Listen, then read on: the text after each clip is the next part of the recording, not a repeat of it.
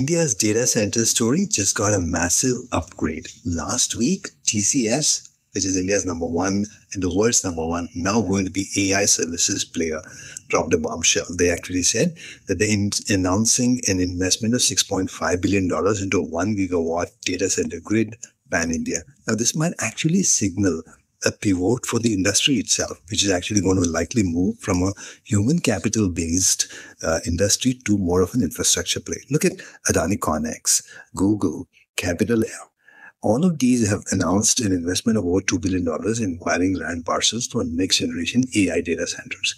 Now, you also know about the latest, the two weeks ago, three weeks ago, Google plus Adani uh, ConneX made an announcement for an investment of $15 billion in Visakhapatnam for a gigawatt scale power grid, uh, AI data center power grid that they're going to invest in.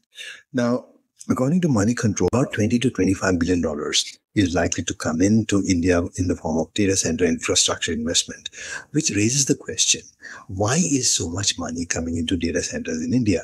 And there are three very simple uh, answers to this. Number one is India, like I just mentioned, is likely pivoting from a pure human uh, capital play to an infrastructure capital play in the AI slash data center space. Now, we will continue exporting talent and people and code, but we'll also become an industry playground here for the global AI players. This is a big move, number one.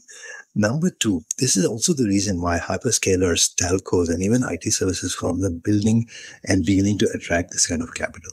The second and more important is data center now has become a yield asset like highways or airports and not just dead infrastructure that you have to have. It is actually going to become revenue generating and cash positive type of a business, pretty much like the tower sector was for telcos initially. It seemed like an overhead, but actually eventually became a lot more profitable and spun off into different business units by themselves. Now, India has a competitive advantage no one really talks about, which is construction cost per megawatt, which is the lowest cost of electricity which is also the lowest cost of data, which is also the lowest worldwide, and a massive talent pool, all of which can combine to actually trigger and drive this industry forward in a way that we can actually maintain data sovereignty locally at the same time play the game to our advantage and not just become another player, me too type of mode. So that's really why the investments are happening. So if you're in that space, I urge you to watch this because there are going to be a lot of opportunities unfolding and don't miss the bus. Take care.